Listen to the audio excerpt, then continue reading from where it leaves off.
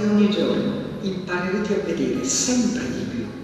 L'uno nel volto dell'altro il dono di amore che Dio vi ha fatto, allora ecco, voi costruirete la vostra vita insieme veramente.